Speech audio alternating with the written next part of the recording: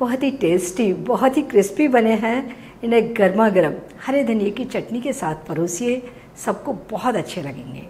नमस्कार, निशा मुदलिका dot com में आपका स्वागत है। आज हम बनाएँगे चावल के आटे के वड़े। तो आइए बनाना शुरू करते हैं। इसके लिए हमने एक कप दही लिया है। तो ये हमने डाला एक कप दही और ये एक कप पानी।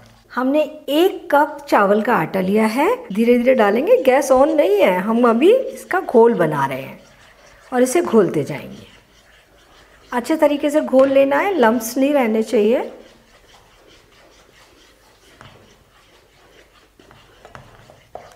तो ये चावल का आटा हमने अच्छे तरीके से घोल लिया। एकदम स्मूथ घोल बन गया है। इसमें हम तीन चौथाई छोटी चम्मच नमक डाल देंगे। और ये दो तीन हरे मिर्च हमने काट लिए हैं, बीज हटा दिए हैं तो बहुत ज़्यादा तीखे नहीं है। और ये एक इंच अदरक का टुकड़ा जो हमने ग्रेट करके ले लिया है। इन्हें भी अच्छे तरीके से मिला लेंगे और अब हम इस घोल को पकाएँगे। तो गैस ऑन कर देते हैं। और हमें इसे डो के फॉर्म में आने तक पकाना है। लगातार चलाते रहेंगे और जो हमारा स्पैतुला है, वो बिल्कुल कढ़ाई के तले में चलना चाहिए ताकि तले में ये गोल लगे ना। गोल पहले से काफ़ी थिक हो गया है, इसे हमें जल्दी जल्दी चलाना है, क्योंकि ये कढ़ाई के तले से भी लग सकता है, दूसरा इसमें गुठलियाँ आ सकती हैं।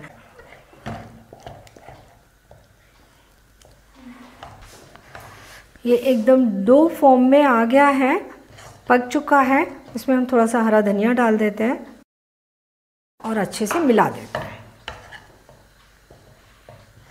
तो ये वड़े के लिए हमारा डो बन के तैयार हो गया और इसे बनने में चार से पाँच मिनट लग जाते हैं। वड़े तलने के लिए तेल गरम कर लेते हैं। हमारा डो थोड़ा ठंडा हो गया है, हैंडल कर सकते हैं। हाथ पर हल्का सा तेल लगा लेंगे और थोड़ा सा डो ले लेंगे। इसे हम गोल करेंगे और थोड़ा सा चपटा कर देंगे। इसके बाद हम उंगली से इसमें होल्ड करेंगे। शेप दे देंगे इसको वड़े का। ये हमारा वड़ा तैयार हो गया। तो पाँच छह वड़े हम इस तरीके से तैयार कर लेते हैं पहले।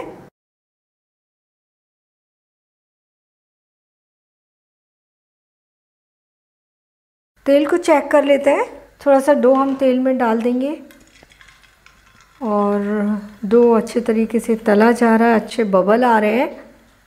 हमें वड़े तलने के लिए मीडियम से थोड़ा सा ज़्यादा गर्म तेल चाहिए, बहुत ज़्यादा गर्म तेल नहीं चाहिए। वड़े तलने के लिए डाल देते हैं।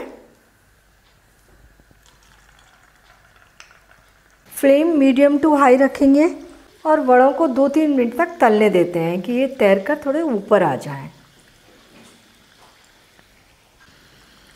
तीन मिनट हो गए और हमारे वड़े भी थोड़ा नीचे से सीख गए हैं तो हम इन्हें पलट देते हैं।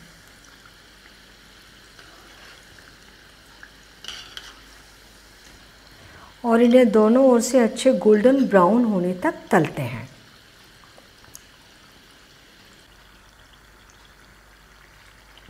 ये अच्छे गोल्डन ब्राउन तलकर तैयार हो गए हैं।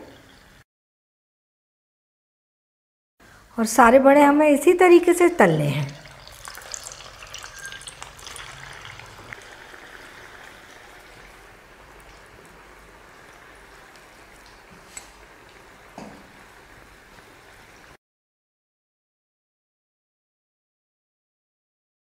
सारे बड़े हमने तलकर तैयार कर लिए और एक बार के बड़े तलने में आठ से नौ मिनट लग जाते हैं। इतने डोसे हमने सत्रह बड़े बनाकर तैयार किए हैं। चावल के बड़े सर्व करने के लिए तैयार हैं। बहुत ही टेस्टी, बहुत ही क्रिस्पी बने हैं। इन्हें गर्मा गर्म हरे धनिए की चटनी के साथ परोसिए। सबको बहुत अच्छे लगेंगे। और इन्हें बनाने में आपको कोई ध्यान नहीं रखना। बहुत ही आसान है। तो आप इन्हें बनाइए, खाइए और अपने अनुभव मेरे साथ शेयर कीजिए। और मुझे ये भी बताइए कि मुझे आपके लिए कौन सी नई रेसिपी बनानी है। और मेरे चैनल को सब्सक्राइब ज़रूर कीजिए।